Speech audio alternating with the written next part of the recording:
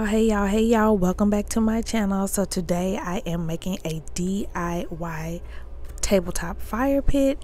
These are all of my supplies. I know I'm going really quickly because I was thinking of should I talk over it or should I just say it? But it's going and it's gone. So these are all the supplies I got all of them were from the Dollar Tree except for this little crate right here. I got it from Michael's for about five dollars. So right now I am just tracing it on the foam board because we are going to use this foam to put inside of the crate so we can have like a base for the sternos and for the glass crystals. So one it can sit higher and come to the edge and two that it can be pretty.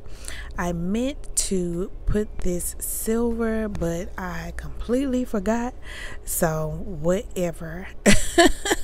I want to say i traced about four of these and cut them and i was able to fit them in the um little wooden crate.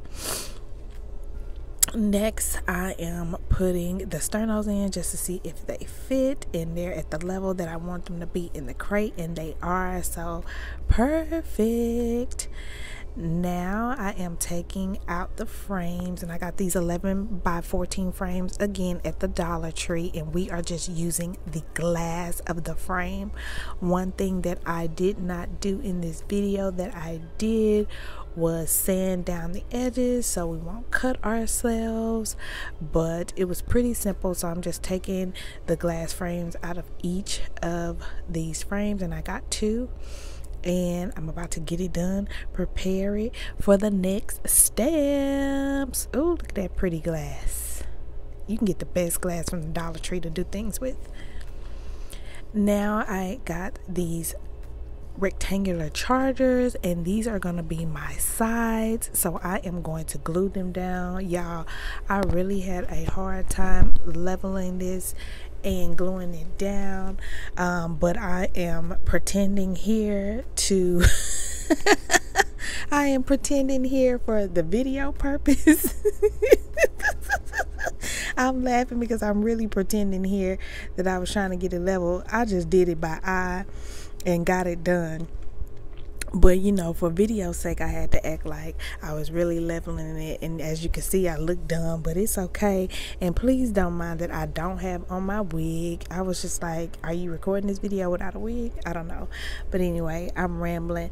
But like i said i'm pretending here to um, level it and everything but i really glued it down by eye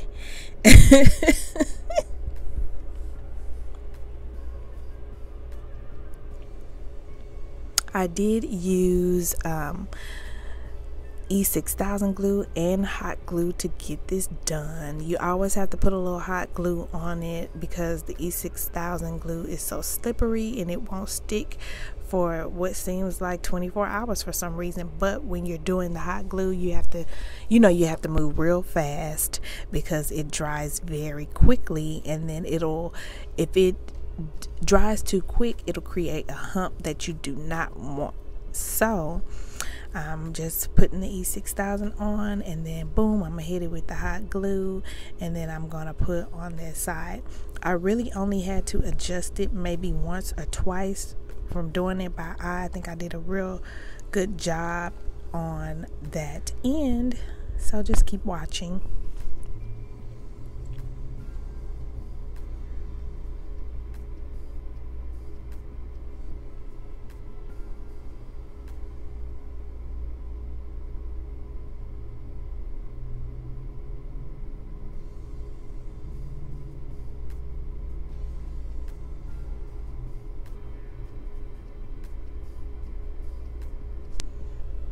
And that actually the E6000 hot glue kept it real sturdy. It is still standing to this day and I am happy about it.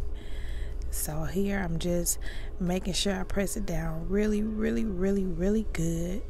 Make sure it stays in the same position. Like I said I only really had to adjust it maybe twice or thrice now I have both sides on and it's looking really good. I stood it up for video purposes so you guys can see it, but it's it's really on. It's really well. Now I am putting the beads on it to just let it sit now it is time to put our glass on. And so I did the edge of the glass instead of doing it in the middle like a lot of the videos that I did see on YouTube because I just wanted to make sure that it would be sturdy enough to hold the beads, the sternos and everything else up. So I just E6000 the edges of the charger and I hit it with hot glue as well. And they stuck pretty well.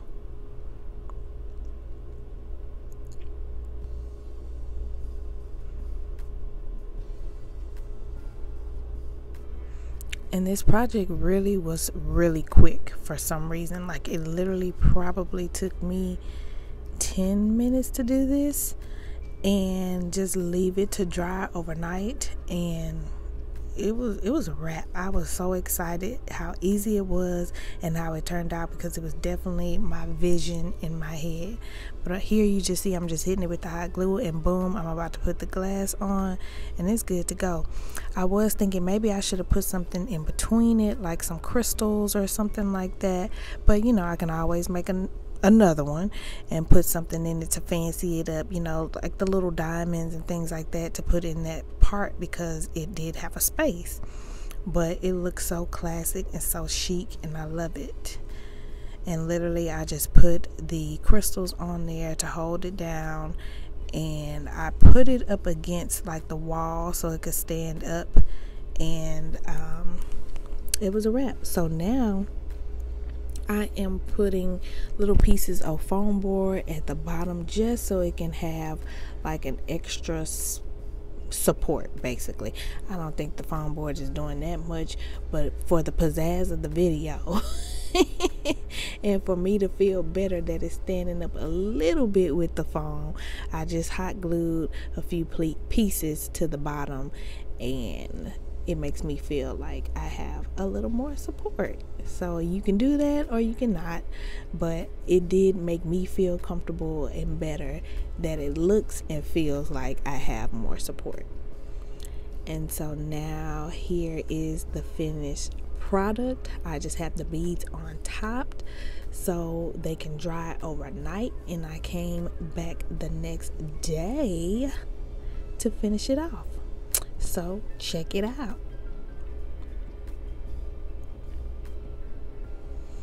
So now it's the next day. I put my wig on. Thank you, God. Look how good it looks, you guys. Look how good it looks. I always had an intention on spray painting everything silver on the inside, but I literally forgot. Like I just was after I put it together, I said, "Oh my god, I forgot that I was going to spray paint everything, bought spray paint and everything." So, with your project, if you do the same one, um, just make sure if you want to to spray paint everything on the inside silver so it can be cohesive or any other color that you would like. But I do like the silver chargers on the outside. So what I'm doing right now is just putting the sternos in and then putting the beads around it and making sure that it fits. I started to dump the beads before I thought you got to put the sternos in first. So here you just see me struggling to put the sternos in flat without any beads underneath. And then now I am just going to add the rest of the beads. I didn't use all of the packs. I think I used all all of them except for one. And, it, and this is how it came out. I am excited and it came out so beautiful. So y'all y'all know what it is. Until next time don't forget to like share and subscribe. Tell me where you want me to go. Tell me what you want me to see and tell me what you want me to do because i'm a what? Get it done. Y'all it came out so beautiful. I couldn't get a better video because i was on my balcony enjoying it at the nighttime but it was great. See y'all later. Bye